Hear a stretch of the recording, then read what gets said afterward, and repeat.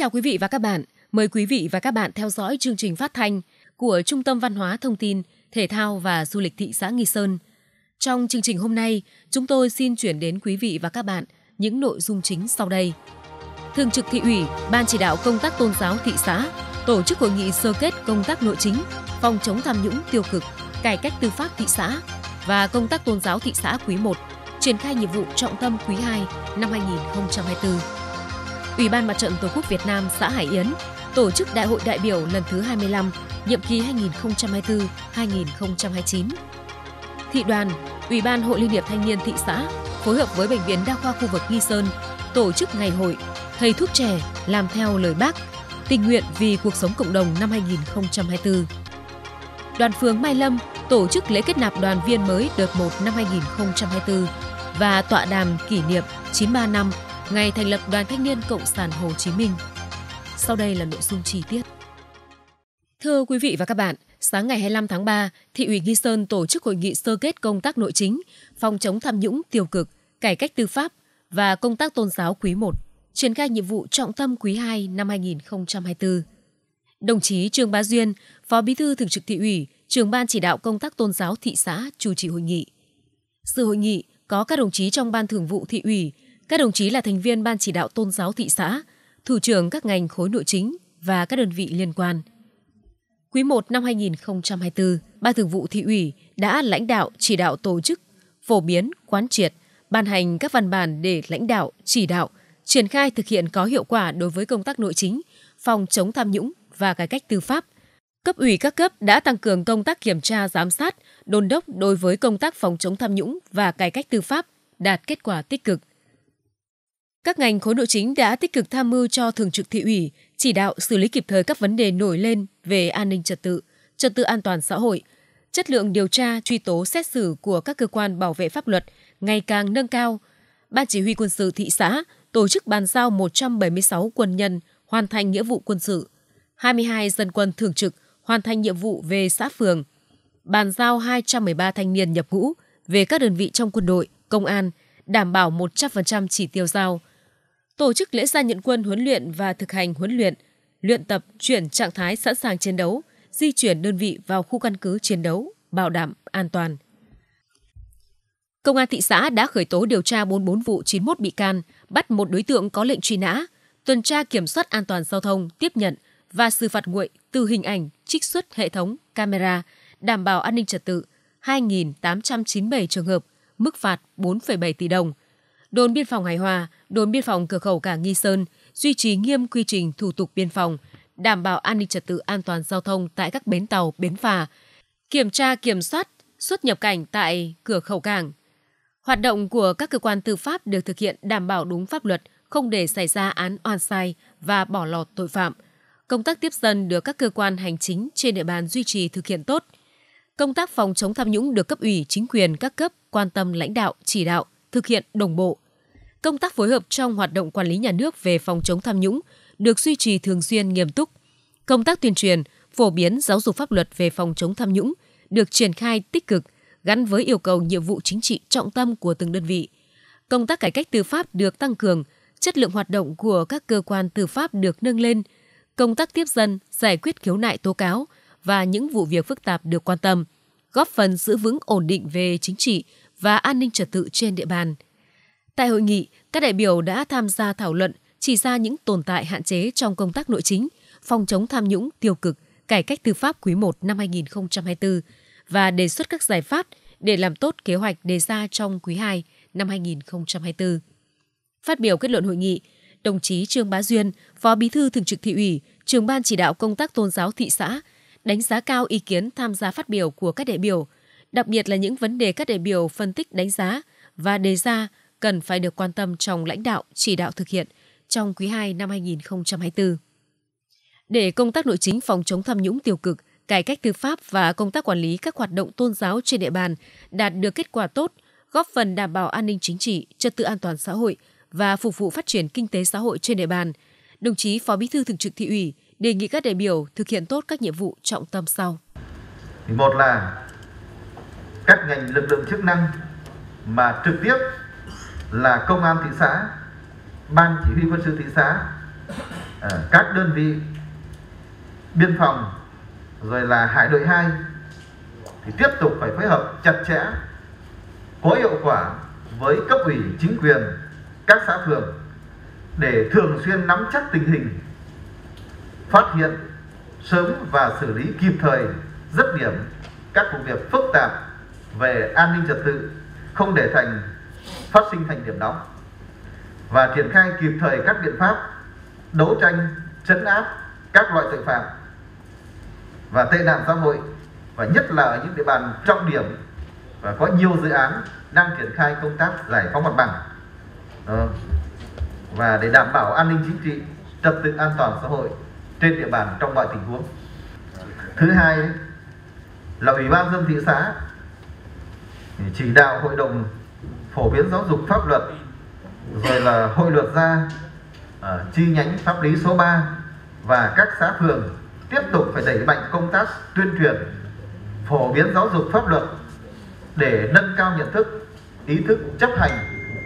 à, của cán bộ đảng viên và nhân dân. Và đặc biệt cần phải quan tâm đến công tác tiếp dân đối thoại trực tiếp với dân giải quyết có hiệu quả các khiếu nại kiến nghị phản ánh của công dân và tập trung để chỉ đạo giải quyết dứt điểm các vụ việc tồn động kéo dài theo chỉ đạo của thường trực tỉnh ủy. Thứ ba là ủy ban dân thị xã à, tiếp tục chỉ đạo các phòng ban các ngành ủy ban dân các xã phường thực hiện công khai minh bạch về thủ tục hành chính và giải quyết kịp thời đúng quy định cho tổ chức và công dân. Trong đó cần phải tập trung ra soát để chỉ đạo giải quyết kịp thời những đơn thư phản ánh kiến nghị mà còn tồn động từ những năm trước chuyển sang quý 1 năm 2024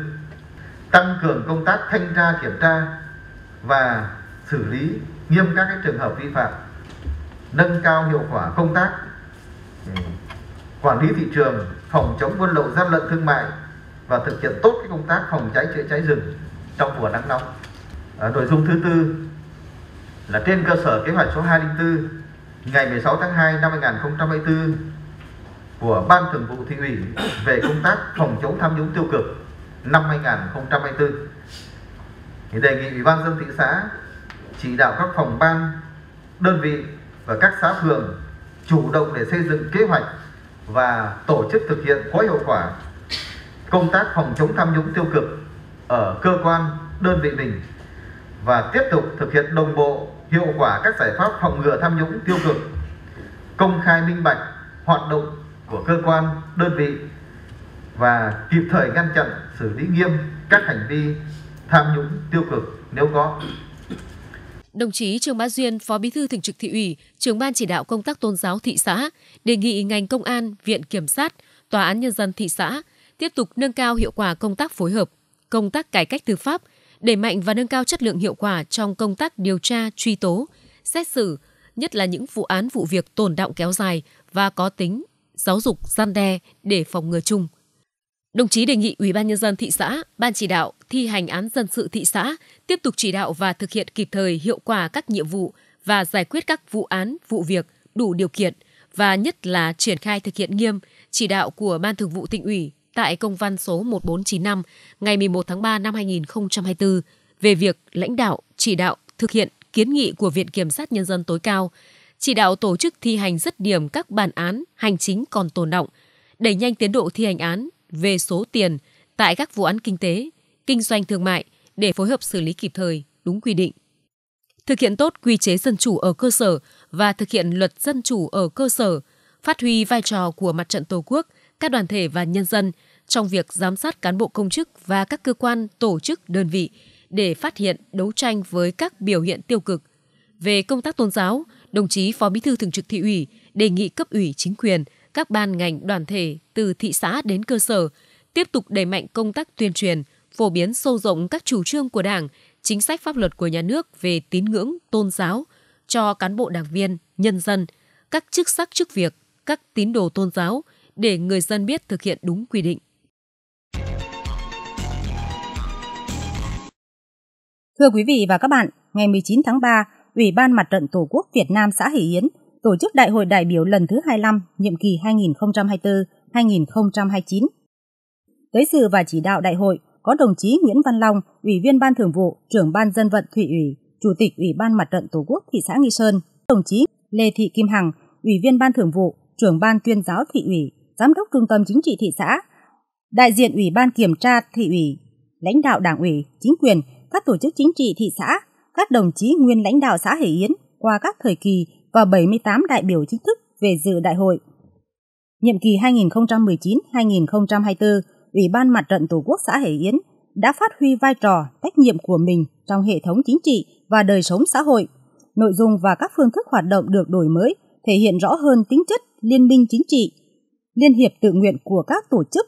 trách nhiệm đại diện, bảo vệ quyền và lợi ích hợp pháp chính đáng của nhân dân. Nhiệm vụ giám sát phản biện xã hội đã được triển khai hiệu quả bước đầu, được nhân dân ghi nhận.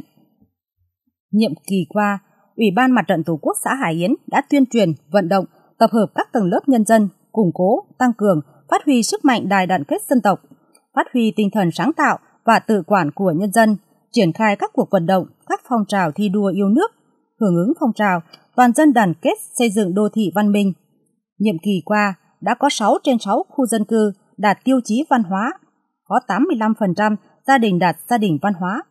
Thực hiện cuộc vận động Ngày vì người nghèo, phát động quyên góp xây dựng quỹ với số tiền hơn 46 triệu đồng, thăm hỏi các gia đình có hoàn cảnh khó khăn, gia đình chính sách, trẻ em mồ côi. Kêu gọi ủng hộ phòng chống dịch COVID-19 với số tiền 150 triệu đồng. Vận động hỗ trợ các huyện miền núi tỉnh Thanh Hóa và các tỉnh miền Trung bị lũ lụt với số tiền hơn 270 triệu đồng. Thực hiện dân chủ, đại diện, bảo vệ quyền và lợi ích hợp pháp chính đáng của nhân dân, giám sát và phản biện xã hội, tham gia phòng chống tham nhũng, lãng phí, góp phần xây dựng đảng, chính quyền trong sạch, vững mạnh,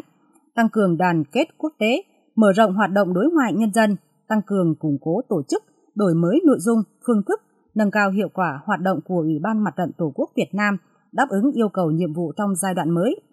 Đại hội cũng nghiêm túc kiểm điểm và thẳng thắn chỉ ra những tồn tại hạn chế trong phương thức tổ chức hoạt động của Ủy ban Mặt trận Tổ quốc xã khóa 24, nhiệm kỳ 2019-2024,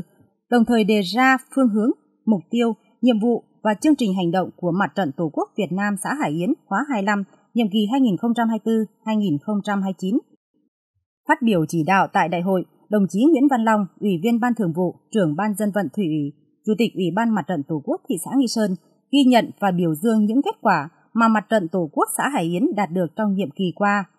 Về nhiệm vụ trọng tâm trong thời gian tới, đồng chí đề nghị Ủy ban Mặt trận Tổ quốc xã Hải Yến tiếp tục đẩy mạnh công tác tuyên truyền, nâng cao nhận thức trong cán bộ đảng viên và các tầng lớp nhân dân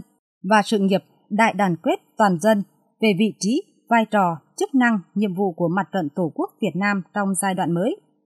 Quan tâm thực hiện tốt vai trò, chức năng của Mặt trận Tổ quốc trong giai đoạn hiện nay. Vận động nhân dân tích cực tham gia xây dựng đảng, xây dựng chính quyền, hệ thống chính trị ngày càng vững mạnh, nâng cao chất lượng của Ban Thanh tra Nhân dân, Ban Giám sát Đầu tư Cộng đồng,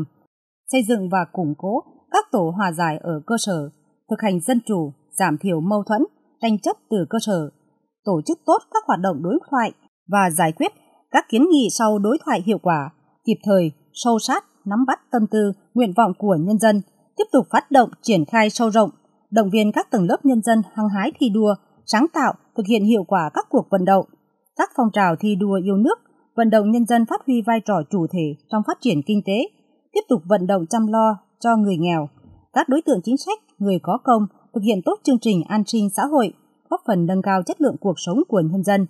đẩy mạnh việc học tập và làm theo tư tưởng đạo đức phong cách Hồ Chí Minh gắn với giám sát cán bộ, đảng viên và sự nêu gương,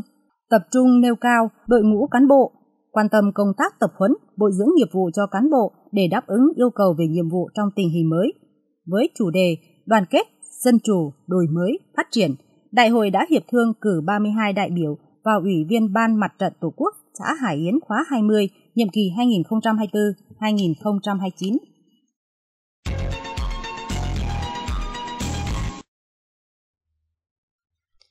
Thưa quý vị và các bạn, ngày 23 tháng 3, tại trạm y tế phường Xuân Lâm, thị đoàn Ủy ban Hội Liên hiệp Thanh niên thị xã phối hợp với Bệnh viện Đa khoa khu vực Nghi Sơn tổ chức ngày hội Thầy thuốc trẻ làm theo lời bác, tình nguyện vì cuộc sống cộng đồng năm 2024, chào mừng kỷ niệm 93 năm ngày thành lập Đoàn Thanh niên Cộng sản Hồ Chí Minh 26 tháng 3 năm 1931, 26 tháng 3 năm 2024. Dự ngày hội có đồng chí Trần Thị Ngọc Ánh, Ủy viên Ban chấp hành tỉnh đoàn, Bí thư thị đoàn Nghi Sơn, đại diện cấp ủy chính quyền phường Xuân Lâm, các đồng chí y bác sĩ là đoàn viên thanh niên Bệnh viện Đa khoa khu vực Nghi Sơn và đông đảo người dân trên địa bàn phường. Tại chương trình, cán bộ y bác sĩ là đoàn viên thanh niên của Bệnh viện Đa khoa khu vực Nghi Sơn đã khám các bệnh liên quan đến đường hô hấp, huyết áp, tim mạch, các bệnh về mắt, xương khớp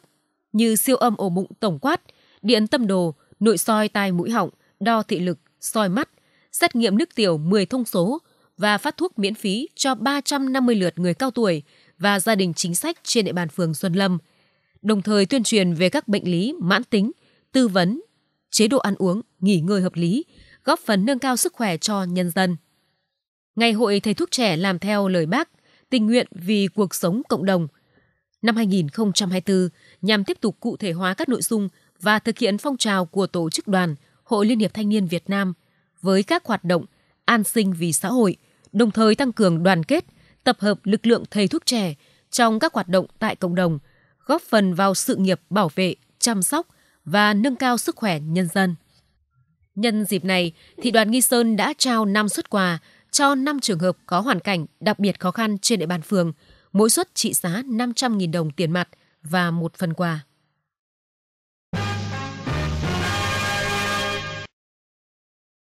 Thưa quý vị và các bạn, ngày 24 tháng 3, tại công sở Ủy ban dân phường, Ban chấp hành đoàn phường Mai Lâm tổ chức lễ kết nạp đoàn viên mới đợt 1 năm 2024 và tọa đàm kỷ niệm 93 năm ngày thành lập Đoàn Thanh niên Cộng sản Hồ Chí Minh 26 tháng 3 năm 1931, 26 tháng 3 năm 2024.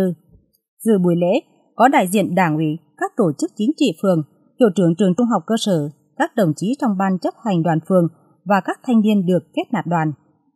Tại buổi lễ, Ban chấp hành đoàn phường đã tổ chức tọa đàm kỷ niệm 93 năm ngày thành lập Đoàn Thanh niên Cộng sản Hồ Chí Minh 26 tháng 3 năm 1931, 26 tháng 3 năm 2024 và tổ chức kết nạp đoàn cho 66 đội viên trường trung học cơ sở Mai Lâm. Đây là những đội viên ưu tú đạt thành tích cao trong học tập, rèn luyện. Buổi lễ được tổ chức trong không khí trang nghiêm, long trọng, đúng quy trình và hướng dẫn thực hiện điều lệ đoàn. Vinh dự được đứng trong hàng ngũ của Đoàn Thanh niên Cộng sản Hồ Chí Minh, đoàn viên trường trung học cơ sở Mai Lâm nguyện hứa sẽ luôn cố gắng phấn đấu học tập tốt, tu dưỡng phẩm chất đạo đức theo gương Bắc Hồ vĩ đại, noi gương cha anh trên con đường xây dựng và bảo vệ quê hương. Lễ kết nạp đoàn viên mới là hoạt động ý nghĩa, thiết thực nhằm giáo dục truyền thống yêu nước, lý tưởng cách mạng cho thanh niên, góp phần xây dựng tổ chức đoàn phát triển ngày càng vững mạnh.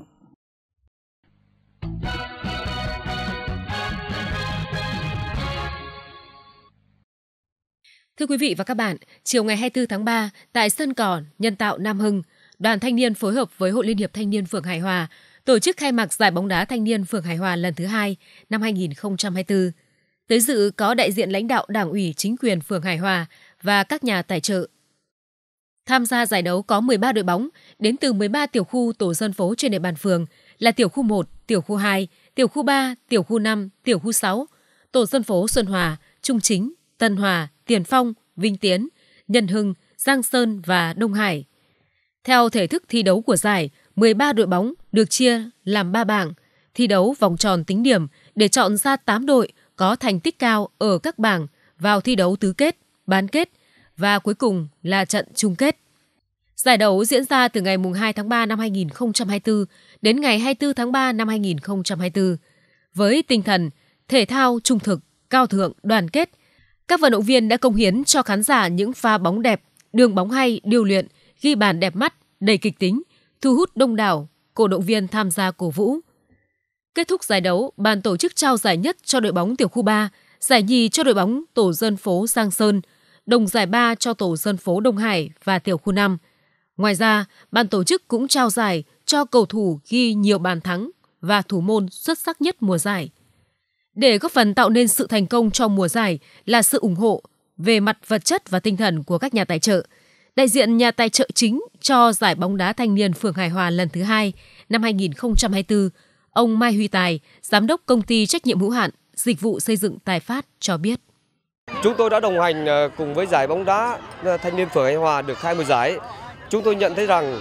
ờ, chất lượng của các giải đấu đã được nâng cao cùng với chất lượng của các cầu thủ đã được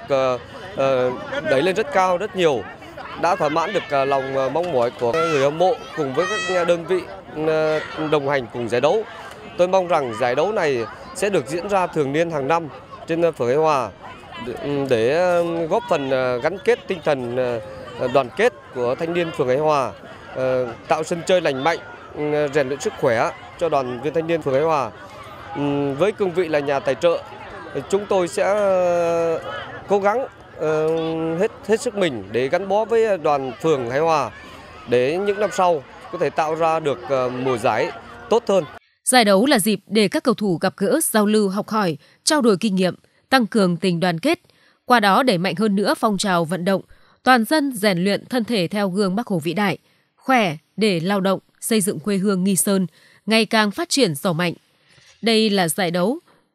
lập thành tích hướng tới chào mừng kỷ niệm 93 năm ngày thành lập Đoàn Thanh niên Cộng sản Hồ Chí Minh và Đại hội Hội Liên hiệp Thanh niên phường Hải Hòa nhiệm kỳ 2024-2029.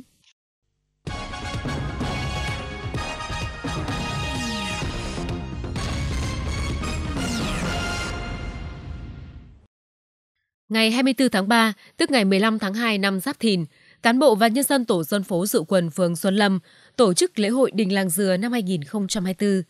Về dự lễ hội có lãnh đạo cấp ủy chính quyền phường Xuân Lâm cùng đông đảo cán bộ, đảng viên và nhân dân trên địa bàn. Theo sử sách ghi lại, làng Dự Quần, tên nôm là làng Dừa thuộc Tổng Tuần La, huyện Ngọc Sơn, Phủ Tĩnh Gia. Trải qua thời gian, các thế hệ cư dân làng Dừa đã đoàn kết đồng lòng, xây dựng quê hương ngày một phát triển. Người làng Dừa còn rất hiếu học và học hành thành đạt, xây dựng một cộng đồng dân cư giàu bản sắc văn hóa. Trong đó minh chứng sinh động nhất là đình làng Dừa được xây dựng vào nửa cuối thế kỷ 18. Đây là nơi các vị chức sắc và dân làng hội họp bàn việc trong làng ngoại xã, đồng thời cũng là nơi linh thiêng thờ các vị phúc thần, nhân thần có công với dân với nước, đưa các triều đại sắc phong. Từ năm 1923 đến năm 1963, đình làng được chọn làm địa điểm dạy học, khai trí cho dân. Nhiều con em của làng đã tiền phong trong việc học và truyền bá chữ quốc ngữ. Và chính họ đã trở thành người lãnh đạo giành chính quyền trong cách mạng tháng 8 năm 1945. Nơi đây còn là nơi diễn đưa nhiều con em đi kháng chiến chống Pháp, chống Mỹ, học hành thanh tài, là nguyên khí, là niềm tự hào của làng về vùng đất địa linh nhân kiệt. Trải qua nhiều biến thiên của lịch sử, ngôi đình có kiến trúc độc đáo, khang trang bề thế, thời bấy giờ không còn nữa. Thực hiện nghị quyết Trung ương 8 khóa 12 của Đảng về giữ gìn và phát huy nền văn hóa Việt Nam tiên tiến, đậm đà bản sắc dân tộc và hưởng ứng cuộc vận động toàn dân đoàn kết xây dựng đời sống văn hóa, trong đó trọng tâm là xây dựng làng văn hóa. Thể theo nguyện vọng của nhân dân và được sự quan tâm của chính quyền địa phương, sự đóng góp của các nhà hảo tâm. Năm 2023, nhân dân đã xây dựng lại hậu cung trên nền đất cũ. Lễ hội đình làng cũng được khôi phục lại từ đó. Lễ hội năm nay, ngoài phần lễ thể hiện tâm linh của nhân dân trong làng đối với thành hoàng làng, ban tổ chức lễ hội còn tổ chức các trò chơi dân gian như thi bơi thuyền, văn nghệ quần chúng, các hoạt động thể dục, thể thao, qua đó tạo nên không khí vui tươi phấn khởi, thu hút đông đảo người dân trong và ngoài địa phương tham gia. Lễ hội Đình Làng Dừa là một hình thức sinh hoạt văn hóa tâm linh, đáp ứng nhu cầu văn hóa tín ngưỡng của đông đảo nhân dân trong vùng. Lễ hội còn là dịp để người dân tổ dân phố dự quần ngày nay bày tỏ lòng thành kính, tưởng nhớ về tiên tổ, cội nguồn, người có công với dân, với nước và sáng lập ra làng. Đồng thời nguyện cùng nhau giữ gìn, phát huy những giá trị văn hóa làng quê, xây dựng quê hương ngày càng giàu đẹp văn minh.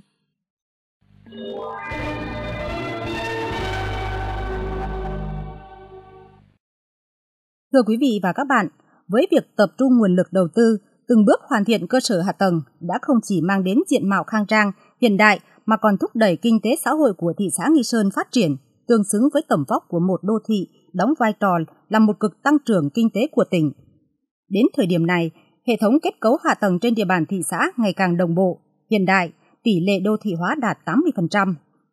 Từ năm 2020 đến tháng 2 năm 2024, thị xã Nghi Sơn đã huy động nguồn lực đầu tư phát triển hạ tầng kỹ thuật, hạ tầng đô thị được 2.350 tỷ đồng từ nguồn ngân sách trung ương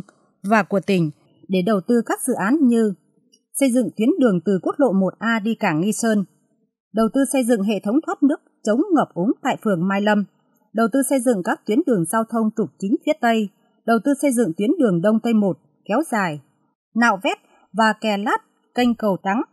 sông kênh than, xây dựng các khu tái định cư thuộc dự án phát triển đô thị động lực, nguồn vốn từ Ngân hàng Thế giới giai đoạn 1. Đường giao thông từ vườn Hải Hòa, Bình Minh theo hình thức PPP do công ty xây dựng VNC làm chủ đầu tư. Thị xã Nghi Sơn cũng huy động mọi nguồn lực từ nguồn ngân sách địa phương đầu tư thực hiện 295 dự án đầu tư công với giá trị 2.050 tỷ đồng. Từ nguồn vốn này, thị xã đã và đang đầu tư xây dựng hệ thống điện chiếu sáng quốc lộ 1A từ phường Ninh Hải đến cầu ghép, xây dựng hệ thống chiếu sáng trên các tuyến đường tại 15 phường xã, dự án tuyến đường CC3, BB3, khu du lịch Hải Hòa, dự án đầu tư xây dựng công sở phường Hải Nhân, công sở phường Bình Minh, đề án xây dựng sửa chữa các nhà văn hóa tại các khối phố, các thôn, xây dựng trường chuẩn quốc gia. Ngoài ra, thị xã Nghi Sơn tích cực kêu gọi các nhà đầu tư xây dựng các khu du lịch sinh thái ven biển với tổng nguồn vốn 1.050 tỷ đồng. Tiêu biểu như dự án khu du lịch sinh thái Tân Dân, tổ hợp du lịch nghỉ dưỡng biển Hải Hòa, dự án khu du lịch sinh thái cao cấp biển Hải Ninh, các hạng mục công trình thuộc dự án khu du lịch sinh thái nghỉ dưỡng resort ven biển phường Hải An. Trên địa bàn thị xã hiện có các dự án đầu tư xây dựng khu đô thị mới đã và đang được triển khai thực hiện với giá trị thực hiện đạt 230 tỷ đồng nhằm tạo điều kiện thuận lợi cho các nhà đầu tư triển khai thực hiện dự án. Thị xã tích cực thực hiện công tác giải phóng mặt bằng và bàn giao mặt bằng sạch cho nhà đầu tư theo tiến độ đã cam kết. Cùng với đó, thị xã tích cực phối hợp với Ban Quản lý Khu Kinh tế Nghi Sơn và các khu công nghiệp, Ủy ban dân các xã, phường tập trung quản lý quy hoạch các phân khu đô thị, phân khu chức năng, quy hoạch chung điều chỉnh mở rộng khu kinh tế Nghi Sơn theo nghị quyết 1699 QĐ-TTG ngày 7 tháng 12 năm 2018 của Thủ tướng Chính phủ. Hiện nay, thị xã Nghi Sơn đang tích cực phối hợp với Ban Quản lý Khu Kinh tế Nghi Sơn và các khu công nghiệp tỉnh đẩy mạnh kêu gọi đầu tư, chuẩn bị tốt các dự án để tranh thủ nguồn vốn của Trung ương, của tỉnh, vốn đầu tư, FDI, đồng thời tăng cường công tác quản lý quy hoạch, trật tự xây dựng. Cùng với đó, thị xã tập trung giải quyết dứt điểm những tồn động, vướng mắc, đẩy nhanh tiến độ giải phóng mặt bằng, di dân tái định cư, thu hồi đất, bàn giao mặt bằng sạch cho các chủ đầu tư, thực hiện các dự án, trọng tâm là các dự án hạ tầng kỹ thuật, hạ tầng xã hội sử dụng vốn ngân sách nhà nước và các dự án quy mô lớn, công nghệ hiện đại, sử dụng nhiều lao động. Ngoài ra, thị xã Nghi Sơn tích cực huy động và lồng ghép các nguồn vốn tập trung đầu tư hạ tầng giao thông nông thôn, trường học, trạm y tế, nhà văn hóa phục vụ nhu cầu của người dân. Thông báo thứ Bảy ngày 30 tháng 3 năm 2024 tại phòng khám Thiên Đức mời tiến sĩ bác sĩ Đỗ Anh Giang, Phó Giám đốc Trung tâm Tiêu hóa Bệnh viện Bạch Mai, chuyên gia trong lĩnh vực khám và điều trị các bệnh về đường tiêu hóa. Bác sĩ sẽ trực tiếp khám, tư vấn và điều trị. Nội soi không đau, không khó chịu, nhờ phương pháp tiền mê giúp người bệnh đi vào giấc ngủ êm dịu. Khi tỉnh dậy là quá trình nội soi kết thúc, không hề đau đớn khó chịu. Nội soi công nghệ cao với công nghệ LCI, BLI, NBI, nâng cao hiệu quả chẩn đoán polyp, loét, u dưới niêm mạc và đặc biệt là có thể phát hiện sớm ung thư đường tiêu hóa. Quá trình nội soi sạch, an toàn với số lượng dây soi nhiều và quy trình khử khuẩn dây soi chuẩn giúp hạn chế quá trình lây bệnh trong nội soi. Đội ngũ bác sĩ giỏi trực tiếp thăm khám và thực hiện nội soi. Dịch vụ y tế tận tâm chuyên nghiệp, thủ tục nhanh chóng, tiết kiệm chi phí. Khách hàng có nhu cầu kiểm tra dạ dày, đại trực tràng, xin mời đến phòng khám để đăng ký thăm khám, làm các xét nghiệm và các thủ tục cần thiết trước ngày soi để đảm bảo an toàn. Địa chỉ: Phòng khám đa khoa Thiên Đức, tổ dân phố Xuân Hòa, phường Hải Hòa, thị xã Nghi Sơn, Thanh Hóa. Số điện thoại liên hệ 0983 185 231. Thạc sĩ bác sĩ Nguyễn Mạnh Hùng. Chương trình phát thanh của Trung tâm Văn hóa Thông tin Thể thao và Du lịch thị xã Nghi Sơn đến đây là hết. Chịu trách nhiệm nội dung và chỉ đạo sản xuất Cao Văn Lâm, biên tập Văn Tuấn, kỹ thuật truyền dẫn phát sóng Trung Luyến. Cảm ơn sự quan tâm theo dõi của quý vị và các bạn. Xin kính chào và hẹn gặp lại.